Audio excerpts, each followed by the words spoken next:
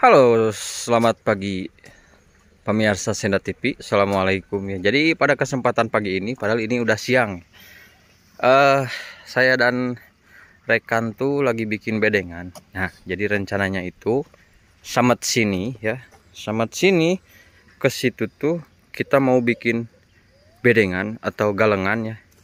Jadi rencananya kolam ikan ini dilebarin ke sini gitu. Nah, jadi bedengannya manjang ke situ bukan manjang ke arah uh, wetan. Jadi tempat sayurannya nanti memanjang ke situ terus kolam ikannya dimajuin dilebarin dikit lah berapa meter ya 4 meteran dilebarin ke sini. Nah jadi di sini di sini tuh nantinya ada tanggul ke situ panjang dan ini selut lagi ini. Lagi lagi ngalencos.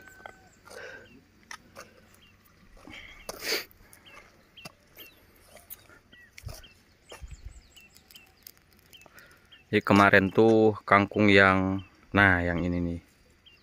Itu tuh kan bekas dipanen malam-malam.